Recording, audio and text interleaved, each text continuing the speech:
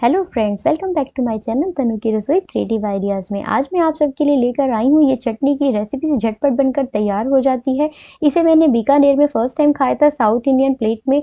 तो ये रेसिपी बहुत ईजी है बनाने में और खाने में बहुत डिलीशियस है। तो चलो शुरू करते हैं इस रेसिपी को। इस रेसिपी को बनाने के लिए आपको यहाँ पे चार टमाटोज दो ग्रीन चिलीज़ और ऑनियन की ज़रूरत है दो। तो हम इनको पहले वॉश करके अच्छे से इस तरह से चॉप कर लेंगे। तो मैंने टमाटोज को इस तरीके से पीसेस में चॉप कर लिया है और ऑनियन को रफली लंबा लंबा चॉप कर लिया है। ये सी ग्रीन चिलीज़ को भी मैंने इसमें चॉप कर लिया है। इसके लिए पहले हम कोई भी यहाँ पे ऑयल लेंगे। तो मैंने यहाँ मस्टर्ड ऑयल लिया है। मस्टर्ड ऑयल में हम पहले अच्छे से उसको गर्म करके सेम गैस पे हम पहले उसके अंदर ग्रीन चिलीज़ को डालेंगे और ऑनियन को डालेंगे। हमें इन्हें रोस्ट करना है। तो हमें इन्हें मीडियम फ्लेम पे ही रोस्ट करना है, हाई फ्लेम पर रोस्ट नहीं करना है, नहीं तो इसका टेस्ट परफेक्ट नहीं आएगा।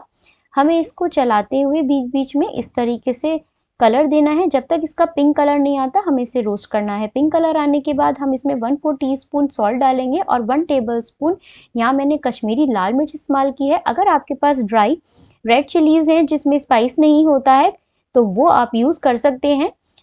अब इसको अच्छे से हमें भून लेना है। जब हमारी ऑनियन अच्छे से सिम गैस पर रोस्ट हो जाएँगी, तब हम उसमें अपने टमाटोज को ऐड कर देंगे। मैंने यहाँ पे पानी अभी ऐड नहीं किया है बिल्कुल भी। हमें टमाटोज को अच्छे से इसके साथ रोस्ट कर लेना है। जब हमारे टमाटो इस तरीके से रोस्ट हो जाएँगे तो देखिए पानी अपना आप ऑटोमेटिकली ये छोड़ देंगे। इसमें एक्स्ट्रा पानी की ज़रूरत नहीं होती है। टमाटोज का पानी जब इस तरीके से जल जाएगा, काफ़ी हद तक इसका मतलब आपके टमाटोस अच्छी तरीके से रोस्ट हो गए हैं। इसमें किसी ज़्यादा चीज़ों की इंग्रेडिएंट्स की ज़रूरत नहीं होती। इस चटनी का जो फ्लेवर है, इसके पकाने में और इसके रोस्टिंग में ही है।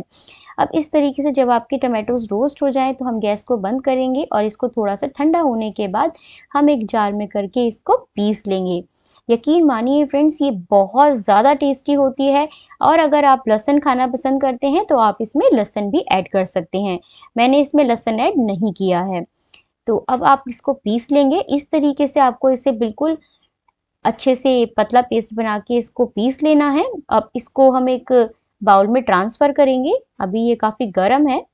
मैंने इसको थोड़ा ही गर्म पीस दिया था। पूरी तरीके से ठंडा नहीं किया था। तो ये देखिए, अब इसके लिए हम एक तड़का रेडी करते हैं। इसके तड़के के लिए हम मस्टर्ड या कोई ऑयल नहीं, हम यहाँ पर देसी घी डाल रहे हैं। इसका टेस्ट बहुत अच्छा आता है। एक बार ये ज़रूर ट्राई करके देखिएगा। इसमें हम राई डालेंगे और राई के तड़कने के बाद हम इसमें डायरेक्ट ये तड़का लगा देंगे। हमने इसमें कुछ एक्स्ट्रा ऊपर से रेड चिलीज नहीं डाली है। अगर आपको ज़्यादा स्पाइस पसंद है तो सूखी लाल मिर्च को बीच में से तोड़कर उसको इसमें तड़के में हम डाल सकते हैं। अब इसको स्पून से हम मिला देंगे। और ये हमारी चटनी झटपट बनकर तैयार हो गई है। ये खाने में बहुत डिलीशियस होती है। तो एक बार इस रेसिपी को ज़रूर ट्राई कीजिए। अब आप इसे चाहे सांभर, डोसा, इडली, उत्पम, किसी के साथ भी खा सकते हैं। तो देखा कितनी जल्दी झटपट बनकर तैयार हो जाती है चटनी की रेसिपी बस तड़का लगाते वक्त ध्यान रखना है कि राई ना जले, नहीं तो इसका टेस्ट खराब हो जाएगा।